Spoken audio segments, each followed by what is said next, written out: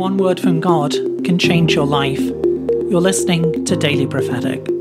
The Lord says, Give me control, allow me to guide and direct you.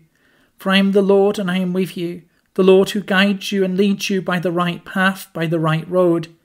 Trust in me and allow me to bring you to where you need to be. For I am the Lord who is directing you, the Lord who is bringing my peace into your heart.